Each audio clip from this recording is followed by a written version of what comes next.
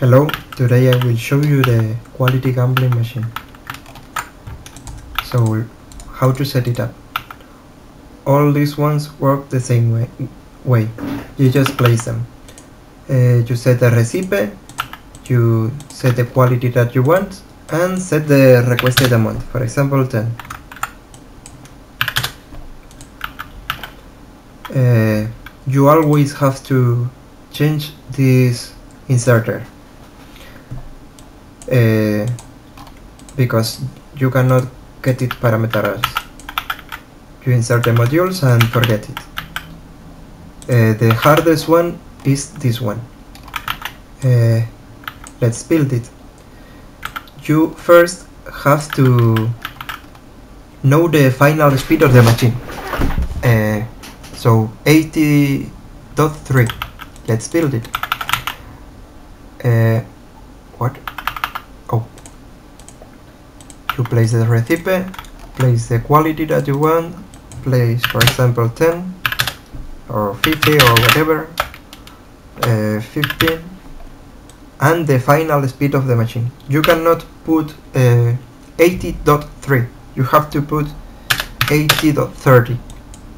That's why I added this. And you build it. This one don't need uh, much many more uh, beacons because it is too fast if that's the case. After this I will show you what happens.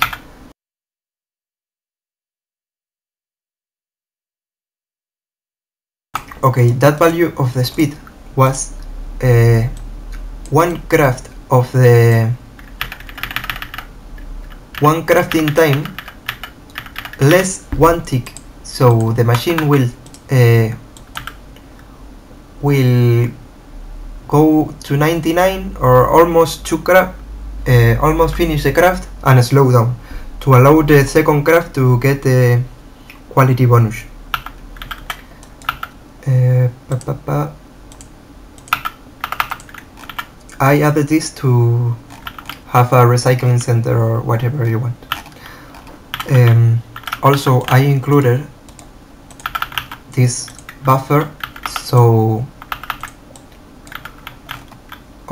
this is the first time I placed this.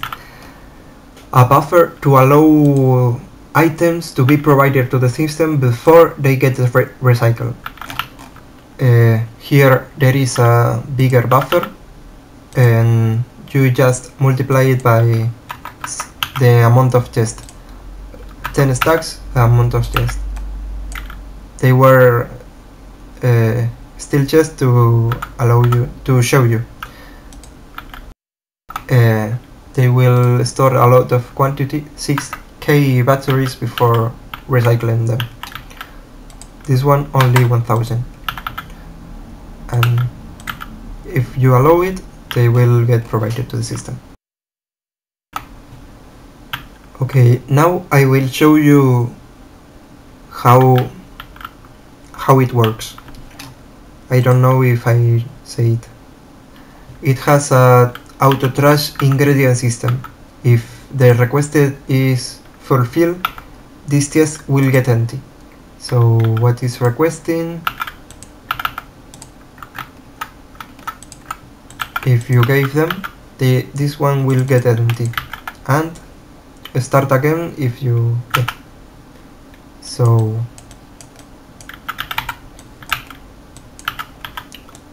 so let me explain how it works uh, it will try it will send a signal a crafting signal if you can craft two items of the first one and the machine is, is not working. If the machine is not working on that, it will send a signal. That, that signal will go up, up, and wait till the first craft is finished. And after that, it gets reset. If the machine is, is working and it has finished one time it will reset itself and get idle till the machine finishes. That's it. The requested system is very simple. I, I couldn't place set both this signal so I had to place a com constant combinator and a decider combinator to if the machine is less than the requested amount send the request. And I think that's it. Uh, the other one is the same but uh, it doesn't need to finish one craft before starting. So at the moment the machine starts it gets reset and wait till the machine finishes. Um, even even nuclear reactors can be crafted here but they will request too many items I think. So you can place some extra chests them there and connect them. Copy this signal to them and it's done